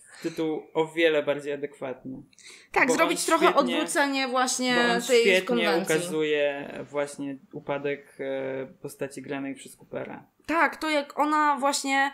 To jest, to jest coś, czego nie było w poprzednich filmach, i tu rzeczywiście trzeba to oddać Cooperowi, że pokazał to naprawdę wiarygodnie. Mhm. Nie było pokazane tego, jak destrukcyjnym może być uzależnienie i jak bardzo Tak. Tamtych e, filmach szybko działa tak naprawdę. Tak, w tamtych filmach, w tych pierwszych to było tak pokazane troszeczkę umownie, gdzieś Tak tam gadkiem. prześmiewczo. Gdzieś za zasłoną E, troszkę, gdzieś tak nie do końca. Christophersonem troszeczkę mocniej, ale to, co robi właśnie Cooper z tym motywem jest y, moim zdaniem no, genialne. I też Ja- przez ja mam charakteryzację. wrażenie, że, że Cooper obejrzał ten film i y, po prostu do niego jako do, do byłego alkoholika y, dotarło to bardziej, że dotarł ten wątek y, właśnie Maina. Mhm. Mhm. I na nim postanowił się skupić i y, no może to po prostu o to chodzi w całej tej adaptacji. No to jako wtedy, osoba, no. która nie widziała tego filmu, słusznie pra... No. Przepraszam. Dobra, Maćku? E, e, Wydaje mi się, że warto zwrócić uwagę tutaj dobrze, e, jakby warto skontrastować to, w jaki sposób jest pokazana ta postać e, w wersji z Barbara Streisand i tutaj, bo mm, Mhm. to są podobne dosyć, podobni dosyć bohaterowie, tylko że e, właśnie wydaje mi się, że w filmie z Barbara Streisand tutaj trochę, trochę ostudziłbym emocje, w sensie ta, to w jaki sposób on ma, on jest uzależniony i to co robi ze swoim życiem i to jest też duży według mnie problem tego filmu, o którym zapomniałem w sumie wspomnieć, jest to, że to jest w sumie trochę takie cool w tym filmie. Mhm. E, trochę taki sposób pokazany jest pozytywny, że on Nikt nie robi z tego popije, problemu. On jest takim sobie lekko duchem, coś tam, On jest Bo to jest takie crazy, normalne. Bo to jest takie normalne, bo on jest He's po prostu rockstar, e, gwiazdą rocka i, em, i generalnie ci, którzy to krytykują, to niech wypierdalają. A Trochę tutaj tak jest. Odwrotnie, tutaj jest właśnie ten sam Elliot, który jest absolutnie mistrzowski.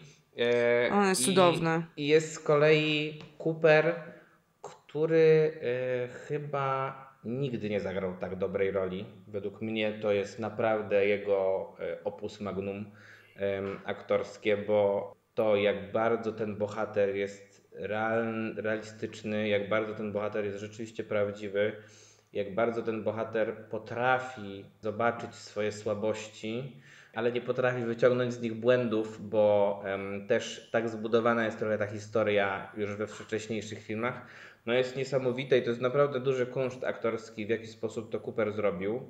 Ja myślę, że to jest E. też kwestia bagażu doświadczeń. Tego, co Cooper przeżył i tego, że on zna problem. On nie zna No tak, problemu ale z to- książek i, i tak dalej, tylko on to jakby przeżył i to też widać bardzo dobrze. Ja nie mówię, że to jest źle. Broń Boże, uważam, że naprawdę y, to nadaje wiarygodności tej postaci i my ją kupujemy taką. No tak, ale bagaż doświadczeń to jest jedno, a z drugiej strony jednak jakby to był jakiś y, gorszy aktor, to pewnie y, bagaż doświadczeń sam by nie wystarczył, a tutaj e, po prostu Też Cooper jest prawda. fantastyczny, naprawdę jest kapitalny i e, e, jak generalnie, mimo że bronię tego filmu i lubię go, zgodzę się z tym, co było powiedziane na początku, że jest dramatycznie przehypowanym filmem i na pewno to, że ten film prawdopodobnie w tym roku rozbije bank Oscarowy, tylko będzie świadczyło o tym, jak Oscary jednak się staczają, a nie rosną w siłę, bo przy wszystkich walorach tego filmu, to, że na przykład Bradley Cooper, e, poza tym, że jest znakomitym tutaj aktorem, jest też, e, jest też promowany i prawdopodobnie będzie nominowany e, za ten film za reżyserię, czy o Boże, za scenariusz, Za scenariusz to, no to to jest swego rodzaju jednak uśmiech e, losu i taki chichot trochę, bo ten film jako całość być może w pewnych momentach się rozłazi i się z tym Mhm. jestem w stanie zgodzić, natomiast ma po prostu tak dużo elementów na tak wysokim poziomie, że ciężko obok niego przejść według mnie i ja trochę abstrahuję od tego, od tego jaki być może jest jego wydźwięk, z którym ja generalnie się nie zgadzam, ale em, najważniejsze było dla mnie to, w jaki sposób, jakim kunsztem ten film jest, bo tutaj jest zadbane o to, żeby przynajmniej te trzy główne role aktorskie, dwie główne role aktorskie, jedna drugoplanowa, były naprawdę zagrane i wygrane na dźwiękach najczystszych i najbardziej takich emocjonalnych. A poza tym no, nie, nie, nie sposób jednak e, przejść do porządku dziennego obok tego, w jaki sposób na przykład e, są nakręcone sceny em, koncertowe w tym filmie. Bo Tak, to, to w jaki prawda. sposób Prawda. są nakręcone sceny w A Star is Born, to do jasnej cholery mógłby się uczyć reżyser Bohemian Rhapsody, e, gdyż tam po prostu mógł sobie je obejrzeć na YouTubie, a tutaj trzeba było je stworzyć. Od Od wymyślić tak naprawdę. stworzone, jest naprawdę fantastyczne.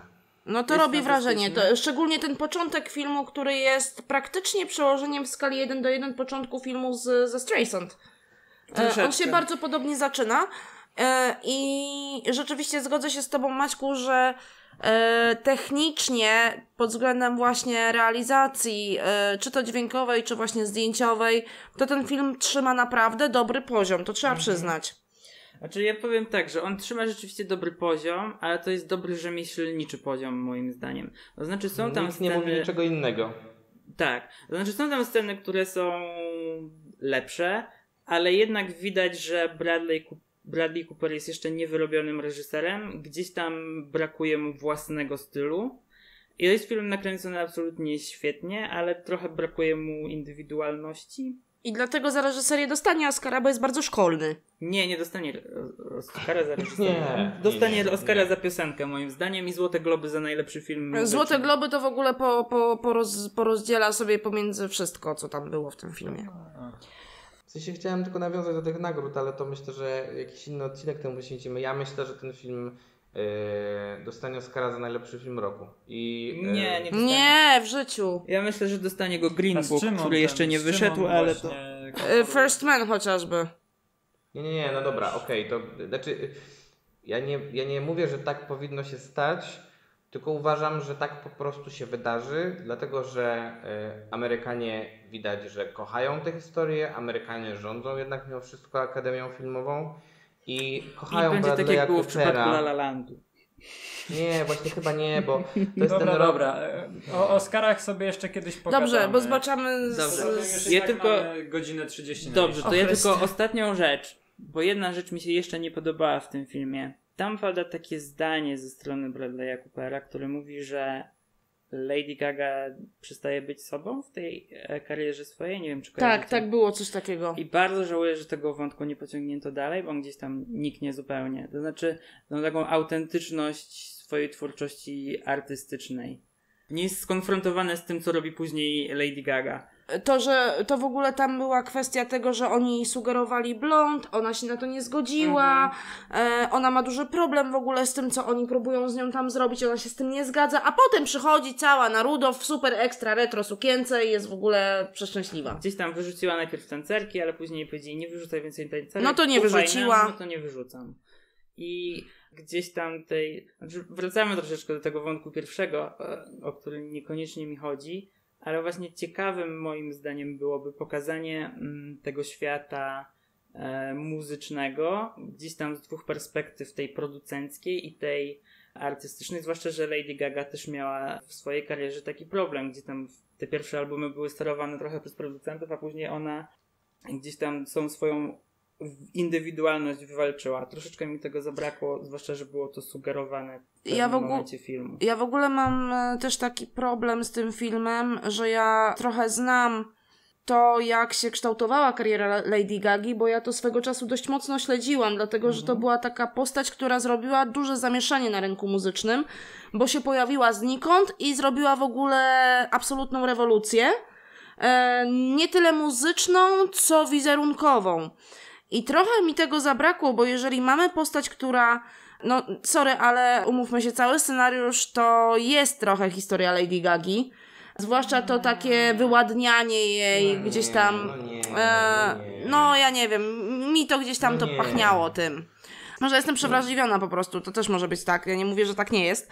Natomiast zabrakło mi tego rzeczywiście, co mówi Krzysiek, żeby pokazać ten show biznes od trochę innej strony. Mając chociażby na względzie to, że nie zawsze jest tak, że to producent, menadżer i cała reszta wszystkich świętych decyduje o tym, jak wygląda ostatecznie al- album. Ale tak jest. Nie Obstawiam, zawsze. że na początku kariery to tak jest Zawsze, zawsze. tak jest. No. Okej, tylko e, pytanie wtedy, czy nie urodziłby się film albo przeładowany wątkami, albo innym wydźwięku i to też byłby pewien problem. Dobra, bo zaczynacie już No. teraz teoretyzować, serio. Myślę, wydaje mi się, że to jest dużo bardziej materiał na to, żeby. Czy nie mówię, że tak powinno się stać, ale jeżeli, jeżeli miałby być jakiś materiał tworzony na, nie wiem, sequel tego filmu, nie daj Boże, Mhm, To byłoby to, ciekawe. to, to, pewnie właśnie, to pewnie właśnie takich tematów by ten film dotknął, czyli przemiany tej artystycznej drogi e, tej Ali. Mhm. Znaczy, ja tylko chciałem jedną, jed, o jeden, jedną rzecz powiedzieć, No. że, yy, że nie słuchajcie ich, bo trzeba na ten film pójść po prostu. Ci, którzy słuchają nas, to niech posłuchają mnie. Dobra, nie, no. dobra. W, e, mój werdykt na, Mhm. waszą, na waszą bitwę jest taki. To powinien być gong taki. No, może będzie. Nikt z was nie wygrał, bo są argumenty, które wygrał Maciek, są argumenty, które wygraliście wy. Ja ogólnie stwierdziłem, że wypadałoby, e, żebym ten film obejrzał i znając życie stanął po stronie Maćka, bo, bo musi być równowaga w przyrodzie. Po prostu na złość staniesz po stronie Maćka, choćbyś się kurwa z nami zgadzał. Nie, ale wiecie co, bo zauważyłem wiele rzeczy, że e, tak jak Maciek e, próbował odbijać ten wasz argument o to, że tam nie ma kobiet i, e, i myślę, że na to spojrzałeś Maćku z kompletnie złej strony, bo ty zacząłeś się oburzać, że przecież te kobiety i tak nic nie robiły w tych filmach. No owszem, no nic nie robiły, ale przynajmniej były. No to jest- a w tym to jest- przypadku ich nie ma. I nie ma ich praktycznie ale wcale. z drugiej strony wy się przyczepiacie do tego, że mm, że jest za dużo tego, tego Bradley'a Coopera i tak dalej, kiedy wszystkie te filmy tak naprawdę są filmem o Normanie Mainie. No właśnie nie. Oczywiście, że tak. Oczywiście, że się tak. zgadzam. Film Wszystkie z te Gay, no filmy. troszeczkę tak. Film z Garland, Garland mam nie. wrażenie, że ona Tak, się tam bardziej. wybija na pierwszy plan mimo wszystko. E, Ale z to Streisand tylko dlatego, tak. że jest dobrą aktorką. No i Streisand też przez to, że... No Streisand sobie nie pozwolił. Znaczy, Streisand wręcz film jest napisany tak, żeby kobieta więcej znaczyła, a i tak wychodzi tak, że facet no bo więcej Streisand nie uciągnęła tego. zawaliła. No właśnie. No, no. W każdym razie ja też uważam, że powinniście iść na ten film. Jeśli nas słuchacie, to idźcie i mało tego, obejrzyjcie sobie wszystkie te filmy i je sobie porównajcie, bo to jest rzeczywiście dość ciekawe doświadczenie. I to- warto sobie wyrobić własną opinię. Plus to nie jest też tak, że ja się źle bawiłam na tym filmie, umówmy się. No, co było, nie było, dobra, ja płakałam na tym filmie, nieważne, bo, bo ja jestem bardzo tanim widzem. E, ale to, że ja się wzruszyłam tam w kilku momentach, które były dość sporą manipulacją emocjonalną, to nie oznacza, że ten film jest w mojej ocenie jakimś wybitnym filmem. On jest mocno przehypowany jest y, mocno szkodliwy, bym nie powiedziała, ale jest taki, no, że te wady rzeczywiście widać. Natomiast dla samego talentu y, aktorskiego, który tam został pokazany, dla tych partii śpiewanych przez Lady Gaga, dla tego, co ona tam robi z głosem, bo to jest w ogóle sztos, dla wszystkich scen koncertowych, które się tam pojawiają, to koniecznie trzeba to zobaczyć nawet, znaczy w kinie myślę, że tak, ale jeżeli Jeżeli nie w kinie, to trzeba ten film po prostu nadrobić, jak będzie na VOD, bo to jest Ale z dobrym nagłośnieniem tak, albo słuchawką. e, bo to jest film, który trzeba obejrzeć. Myślę, że on wejdzie za jakiś czas do jakiegoś takiego kanonu. E, Myślę, że to będzie film, do którego wiele osób będzie wracać, będzie go do czegoś porównywać i, i cholera wie, czy jeszcze nie będzie jednego remake'u. Ja bym sobie życzył taki remake, żeby były odwrócone role, żeby tym razem to kobieta się staczała, a mężczyzna Tak. był tą gwiazdą rodzącą. A kobietą staczającą się będzie, e, proszę Państwa, e, Bellatrix Lestrange, czyli Helena Bonham Carter. Okej. Aha, czyli znowu zagra we własnych ciuchach. No dobra. No o tak, o to właśnie Dobra, chodzi. dobra, dobra. No, nieważne. W każdym razie co, kończymy? kończymy. To powiedzmy może, która z tych czterech części jest według nas najlepsza po prostu. Tak. A, okej, zróbmy tak, tak, ranking. dobra. No to mi się podoba druga. Znaczy z Ga- Gaynor. Nie, z Garland. Z Garland też na Ga- No Ja- nie, ranking może zrób. Garland, Gaynor, e, Gaga, Streisand. E, Garland, Gaynor, Streisand z Gaga. Ja, ja od razu mówię, że Garland, Gaynor, Streisand i nie widziałem Gagi, więc nie ma jej w tym rankingu. A ja powiem, że Gaga jest najlepsza, druga jest Gaynor, trzecia jest Garland, a czwarta jest Streisand i to bardzo daleko. No. Dobra, tym samym e, kończymy ten odcinek. Dziękujemy za wysłuchanie. Jakoś tak się złożyło, że e, przez ostatnie kilka tygodni się kłócimy o wszystko, o czym gadamy. Ale Ale chyba to na tym polega podcast. No, Żeby Jest się kłócić. wtedy. E, Tak jak e, obiecywaliśmy, zadania domowe trwają dalej. Obiecujemy też, że już wszystkie przyszłe zadania domowe filmowe będą tylko o jednym filmie. Nie o trzech. Nie. E, W przyszłym tygodniu, tak jak mówiliśmy, serial i Będziemy premierowo. się brandzlować hejtem. Tak, Będziemy się brandzlować brandzlować hejtem, tak. E, 1983 zobaczymy, y, czy jest tak źle, jak, jak twierdzą, czy jest tak dobrze, jak twierdzi Agnieszka Holland. I jeszcze jedną rzecz, y, bo to będzie jednak odcinek trochę o polskim kinie, więc myślę, że jeszcze dołożymy fugę Agnieszki Smoczyńskiej tak na siłę. Spoko. No, myślę, że. A bo Ona ona teraz- wchodzi w przyszłym tygodniu. Ojej, to tak, rzeczywiście. Tak, tak, tak, tak, tak, tak, tak. A ja bym w ogóle chciał jeszcze porozmawiać o wdowach. A, a... Też O, bym to chciała. Ale to Też, nie, też. nie, bo zadanie domowe jest jedno. A Serial o jest jeden i nie jest trzech filmów, sprawa. tylko właśnie można by zrobić tam wdowy, bo ja uważam, że wdowy są w ogóle niedocenionym filmem. Przecież ma dobre recenzje. No dobrze. Ja może nadrobię wreszcie Córki Dancingu, żeby mieć... e, No- Porównanie. no, tak, A ty żeby- nie widziałeś Córek? Nie, wciąż ich nie widziałem. A ty nie byłeś ze mną w kinie na tym? Nie. Nie? No nieważne, Aniu. Dobra. Dobrze, Y, to teraz Przemek, to byłeś na tym jesteśmy. filmie? Czy, Mi nie, się wydaje, nie? że Przemek był, bo mówił, że to jest Maria. zupełnie inny film, ale dojdziemy Przemek, do tego, nieistotne. Przemek, else? przynieś, przynieś teraz swój kalendarz i sprawdź, czy byłeś, proszę, bo to jest ważne dla mnie. Tak więc dziękujemy. E, Prosimy, wiadomo, o lajki, subskrybowanie, tak dalej, tak dalej. Wszystkie nasze social media możecie znaleźć jako winni odsłuchu, zresztą są wymienione w, e, no, w, kom- w opisie filmu. E, No i wszystkich naszych prowadzących możecie znaleźć też na ich social mediach, które są Na Facebooku, mojego bloga Watching Closely, na YouTubie i na Instagramie Watching Even Closer. Zapraszam. Ja Super. w związku z tym, że ostatnio powiedzieliśmy, że tam, gdzie jest napisane na YouTubie i Przemek faktycznie nie napisał, gdzie to wszystko jest, to ja się już poprawię. Ja jestem Ania, mam bloga, nazywa się piespop.pl. Yy, Mój fanpage to piekielna strona popkultury, mój Instagram to piekielna strona, a mój Twitter to szatański89. Dziękuję. Tak, a moje kanały i tak dalej są w internecie. Blog przemyśleniamaniaka.pl Facebook, strona na Facebooku Przemyślenia Maniaka i Twitter e, tak samo Przemyślenia Maniaka. Zapraszam serdecznie. Myśli maniaka. No ale to jest tylko jakby A, no handle, tak. tak? Te, Też, się, też się znajdziesz potem. Tak. Racja. No, to dziękujemy. Na razie. Pa! Uh, New York is the place of opportunities. If there is any place in this world that you want to come to, to be able to make it big, or to go after your dreams, it is New York City.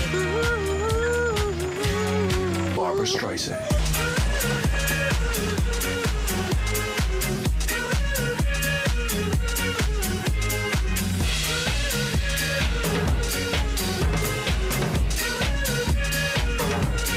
Barbara Streisand. Już? Jezu, to było straszne. Ty po prostu taką musztrę wprowadziłeś, ja się czułam jakbym się od, była odpytywana z się matematyki. cieszcie, że was nie zatrzymałem w połowie tego kłócenia się o gagę.